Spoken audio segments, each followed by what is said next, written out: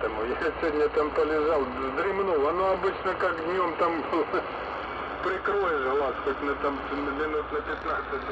Все, вечером, хоть и надо рано вставать завтра на работу. Понимаешь, вот. Слухай, а где патрон? Патрон, который самогон. Да ну, да, не, знаю.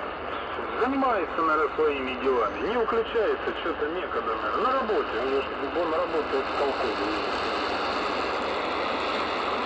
Ему еще сколько? Это ему 59 будет. Кстати, у него день рождения скоро. В октябре, когда надо посмотреть, где-то написано, где производит. 24-го, ага, у него именины.